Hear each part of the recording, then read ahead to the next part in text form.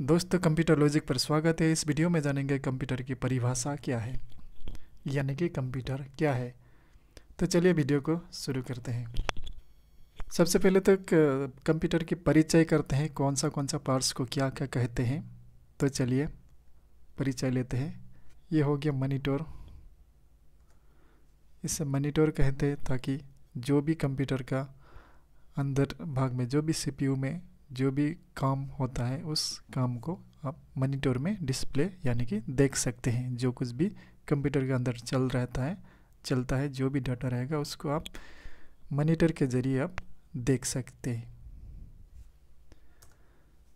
अगला पार्ट से CPU CPU हो गया कंप्यूटर का मुख्य डिवाइस यानी कि सीपीयू के बिना कंप्यूटर अधूरा होता है, क्योंकि जो कुछ भी होता है तो सीपीयू का अंदर ही होता है और वो जो भी प्रोसेसिंग होता है सीपीयू में ही होता है और जो प्रोसेसिंग को देखने के लिए मॉनिटर होता है। तो सीपीयू कंप्यूटर का मुख्य भूमिका निभाते हैं। तो अगले पार्ट्स जानते हैं कीबोर्ड कीबोर्ड भी एक मुख्य भूमिका निभाता है, क्योंकि कीबोर्ड के द्वारा ही हम इनपुट जो डाटा को इनपुट कर सकते हैं, जो भी हम डाटा कंप्यूटर में डालना चाहते हैं तो वो कीबोर्ड के द्वारा हम इनपुट कर सकते हैं। तो कीबोर्ड भी एक मुख्य भूमिका है। तो अगले पार्ट्स जानते हैं, माउस। माउस का भी अच्छे भूमिका है, निभाते हैं क्योंकि माउस भी जो भी ऑब्जेक्ट को सेलेक्ट करने के लिए या तो उस कर्सल को मूव करने के लिए माउस का ज़रूरत होते हैं। तो माउस भी बहुत ही इम्पोर्टेंट पार्ट्स हैं। और प्रिंटर प्रिंटर जो कुछ भी इसको कहते हैं प्रिंटर। जो कुछ भी कंप्यूटर में आप आउटपुट निकालना चाहते तो उसको प्रिंटर के ज़रिए आउटपुट निकल सकते। प्रिंटर के ज़रिए आप जो भी डाटा या तो सिस्टम में जो भी आप काम किया, उसको अगर प्रिंट के ज़रिए आप निकालना चाहते हैं तो प्रिंटर की ज़रूरत पड़ते हैं। तो ये हो गया कॉमन जो बेसिक पार्ट्स इसके अलावा भी और बहुत कुछ पार्ट्स है कंप्यूटर के कंप्यूटर का तो उसके बारे में डिटेल्स में जानेंगे। अभी जानते हैं कंप्यूटर की परिभाषा क्या है। आसान भाषा में कहते कंप्यूटर एक इलेक्ट्रॉनिक यंत्र है और आज हम हर कामों को करने के लिए कंप्यूटर की सहारा लेते हैं। यानी कि यूज़र यूज़र से डाटा लेता है। ये कंप्यूटर कैसे काम करता है? तो इसको अगर आसान भाषा में कहे तो यह एक यूज़र से डाटा को लेता है और इसे हम इनपुट कहते हैं और उस डाटा को प्रोसेस करके रिज़ल्ट अति जल्द देता है। उसे हम आउटपुट कहते हैं। तो कंप्यूटर में मुख्य तीन काम होते हैं ताकि इनपुट करना पड़ता है। जब भी कंप्यूटर में आप डाटा को या तो इन्फॉर्मेशन को या तो कमांड को आप इनपुट करना पड़ेगा और इनपुट करने के बाद, इनपुट करने के बाद उस आप जो कमांड दिए हैं या तो जो डाटा आप इनपुट किए हैं, उस कमांड को प्रोसेसिंग होगा। यानी कि आप क्या करने के लिए दिया है? तो वन प्लस वन अगर प्लस करने के लिए, यानी कि जोड़ने के लिए दिया है तो वो क्या करेगा? वन प्लस वन आप दबाने के बाद वो प्रोसेसिंग करेगा। प्रोसेसिंग करने के बाद आपको आउटपुट देगा। यानी कि उसका रिज़ल्ट क्या है? रिज़ल्ट उस रिज़ल्ट को आपको शो करेगा। तो ये तीन बेसिक काम होता है, यानी कि आप पहले तो इनपुट करना पड़ेगा डाटा या कमांड उसके बाद उस डाटा या कमांड का प्रोसेसिंग होगा, और उसके बाद आपको रिज़ल्ट मिलेगा एज ए आउटपुट की तरह। तो ये कंप्यूटर में ये तीन काम मुख्य होते हैं। तो कंप्यूटर शब्द लेटिन शब्द कंप्यूटर से लिया गया है तो ये भी एक महत्वपूर्ण प्रश्न है, या कि कंप्यूटर शब्द जो कंप्यूटर लेटिन शब्द कंप्यूटर से लिया गया है और जिसका अर्थ है कैलकुलेशन या गणना करना इसलिए इसे गणक या संगणक भी कहते हैं। तो कंप्यूटर को गणक सबसे पहले तो इसे कैलकुलेशन के लिए कंप्यूटर का शुरुआत हुआ था यानी कि कैलकुलेटर के ज़रिए कंप्यूटर का आविष्कार का।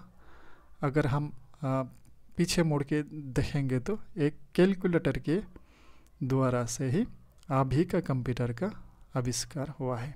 तो वो कैलकुलेटर से होके होके डेवलप होते होते तो आज का जो मेन कंप्यूटर बना है, यानी कि मॉडर्न कंप्यूटर बना है।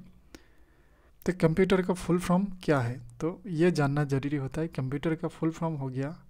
सी का मतलब है कॉमनली ओ का मतलब है ऑपरेटिंग एम का मतलब है मशीन पी का पर्टिकुलरली यू का यूज्ड टी का टेक्नोलॉजी ई का एजुकेशन एंड आर का रिचार्ज अर्थात इसको हम एक ही लाइन में कहे तो commonly operating machine particularly used in technology education and research इसका कंप्यूटर का हो गया फुल फॉर्म अभी जानते हैं कंप्यूटर का मेन कंपोनेंट यानी कि पार्ट्स ऑफ़ कंप्यूटर कंप्यूटर के क्या क्या पार्ट्स होते हैं? हार्डवेयर होते हैं तो हार्डवेयर में हार्डवेयर और सॉफ्टवेयर दो भागों में मेन पार्ट्स को डिवाइड किया गया है। हार्डवेयर मतलब जो हम टच कर सकते हैं, जो देख सकते हैं और छू सकते हैं, उसको हार्डवेयर कहते हैं। तो ये हार्डवेयर पार्ट्स में क्या क्या पार्ट्स को हार्डवेयर में डिवाइड किया है, उस हार्डवेयर में भी अलग अलग चार भागों में भाग किया गया है। इनपुट डिवाइस मतलब जो हम इनपुट डिवाइस मीन्स जो हम डाटा को इनपुट करने के लिए, यानी कि कंप्यूटर के अंदर कमांड को डालने के लिए, जो इनपुट करने के लिए इंसर्ट करने के लिए जो भी डिवाइस हम यूज़ करते हैं as a like as a keyboard हो गया। कीबोर्ड से हम डाटा को इनपुट करते हैं तो कीबोर्ड को एक इनपुट डिवाइस कहते। हैं और माइक्रोफोन uh, माइक्रोफोन से हम जो भी आवाज़ को हम कंप्यूटर में डाल सकते हैं यानी कि इनपुट कर सकते हैं उसको भी इनपुट डिवाइस में माना जाता है। जो रिकॉर्डिंग डिवाइस है जो कुछ भी हो जो इनपुट करने के लिए डाटा को या कमांड को इनपुट करने के लिए जो भी हम लोग डिवाइड डिवाइस हम यूज़ करते हैं, उसे इनपुट कहते हैं। और दूसरी हो गया आउटपुट डिवाइस और जो रिज़ल्ट जो कंप्यूटर में जो रिज़ल्ट जो बनता है, जो इनपुट होने के बाद प्रोसेसिंग होने के बाद, जो आपको रिज़ल्ट को आउटपुट निकलना पड़ता है उससे आउटपुट डिवाइस कहते हैं। ताकि जैसे कि हो गया प्रिंटर एक आउटपुट डिवाइस यानी कि जो भी उधर रिज़ल्ट बनता है उसको आउटपुट करने के लिए, यानी कि कंप्यूटर से बाहर निकलने के लिए। जैसे कि भी प्रिंटर से हम प्रिंट निकाल सकते हैं, जो भी डेटा को। और दूसरी हो गया एक स्पीकर स्पीकर से क्या है? जो भी वॉइस या तो साउंड उसको हम बाहर सुन सकते हैं, उसे भी आउटपुट डिवाइस कहते हैं। तो इनपुट और आउटपुट दो भाग हो गया। और तीसरी हो गया प्रोसेसिंग डिवाइस प्रोसेसिंग डिवाइस में आता है सीपीयू यानी कि सेंट्रल प्रोसेसिंग यूनिट सीपीयू का फुल फॉर्म हो गया, जो प्रोसेसिंग यूनिट में क्या होगा, जो भी आप इनपुट किया वाला डाटा जो प्रोसेस होता है, इसलिए उसको प्रोसेसिंग डिवाइस कहते हैं, या कि, यानी कि सीपीयू और चौथा में हो गया स्टोरेज डिवाइस कंप्यूटर में हम लोग जो भी डाटा हम लोग डालते हैं, यानी कि इनपुट करते हैं, या तो जो भी सॉफ्टवेयर वगैरह जो भी रहेगा तो उसको स्टोरेज डिवाइस की ज़रूरत पड़ती है, ताकि मेमोरी हो गया।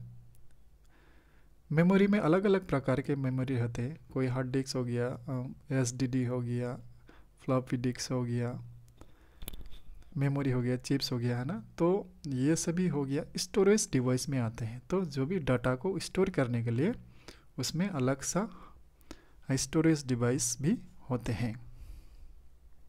तो ये थी हार्डवेयर का पार्ट्स। और अभी जानते हैं हम सॉफ्टवेयर के पार्ट्स, जो सॉफ्टवेयर क्या क्या होते हैं। तो सिस्टम सॉफ्टवेयर और एप्लीकेशन सॉफ्टवेयर, ये दो भागों में ही भाग किया है। सॉफ्टवेयर जो दो पार्ट्स में भाग किया गया है। तो सिस्टम सॉफ्टवेयर बोलेगा तो जो भी सिस्टम में सॉफ्टवेयर रहता है, जो भी सॉफ्टवेयर डाल के सिस्टम जो फिक्स बना दिया है तो उसको सॉफ्टवेयर, सिस्टम सॉफ्टवेयर कहते हैं। और एप्लीकेशन सॉफ्टवेयर एप्लीकेशन सॉफ्टवेयर हो गया ये एक्स्ट्रा जो कि अब एप्लीकेशन होते हैं, जो अलग अलग एप्लीकेशन हम लोग इंस्टॉल करते हैं। तो वो हो गया एप्लीकेशन सॉफ्टवेयर ताकि एज ए माइक्रोसॉफ्ट यानी कि M S Word PowerPoint Photoshop ये सभी हो गया एप्लीकेशन सॉफ्टवेयर जैसे कि हम व्हाट्सअप फेसबुक ये सभी हो गया एप्लीकेशन सॉफ्टवेयर ये सभी एक्स्ट्रा डालना पड़ता है। तो इसे एप्लीकेशन सॉफ्टवेयर कहते हैं। तो ये हो गया सॉफ्टवेयर का भाग। अभी जानते हैं कंप्यूटर की विशेषताएँ क्या है, यानी कि कंप्यूटर की कैरेक्टरिटिस कंप्यूटर की विशेषता। जो कंप्यूटर के कुछ विशेषता है, इस विशेषता के आधार पर कंप्यूटर चलता है। नंबर वन हो गया हाई स्पीड ये कंप्यूटर में काम जो बहुत ही हाई स्पीड में कर सकते हैं। कुछ ही सेकंडों में, कुछ ही पल में तो इससे बहुत सारा काम एक ही साथ कर सकता है। ये हाई स्पीड बहुत ही तेज़ गति में इससे काम कर सकते हैं। एक्यूरेसी यानी कि सटीकता। ये हंड्रेड परसेंट एक्यूरेसी होते हैं इसमें, यानी कि सटीक रिज़ल्ट जो कंप्यूटर देता है, ये हंड्रेड परसेंट एक्यूरेसी होते हैं। और स्टोरेज कैपेसिटी यानी कि स्टोरेज कैपेसिटी बहुत ही ज़्यादा होते हैं कंप्यूटर में। तो अपने हिसाब से इसको स्टोरेज कैपेसिटी लगा सकता है। रियलेबिलिटी ये विश्वसनीयता है और मल्टीटास्किंग ये एक ही समय में बहुत ही अनेक कार्य को कर सकते हैं। एक ही समय में अलग अलग काम को अलग अलग तरीके से कर सकते हैं। सिक्योरिटी के क्षेत्र में यानी कि सुरक्षा के क्षेत्र में ये बहुत ही सुरक्षित हैं। जो कुछ भी हम अपने हिसाब से हम कर सकते हैं। वर्सेटिलिटी विविधता इसमें मतलब अनेक को काम को हम अनेक तरीके से इसे कर सकते हैं। डिलीजेंस यानी कि कर्मठता यानी कि निरंतरता, ये थकता नहीं है। हम आदमी मनुष्य तो थक जाते हैं, लेकिन कंप्यूटर थकता नहीं है, ये कंटिन्यूसली काम कर सकते हैं। तो इसकी ये आठ, इसका विशेषता है। तो इस वीडियो में इतना ही है। तो वीडियो को कैसा लगा? अगर वीडियो को अच्छे लगे तो लाइक, शेयर और चैनल पर नए हैं तो सब्सक्राइब करना भी ना भूलें, ताकि कंप्यूटर से रिलेटेड जो भी वीडियो आप तक में पहुँचने पे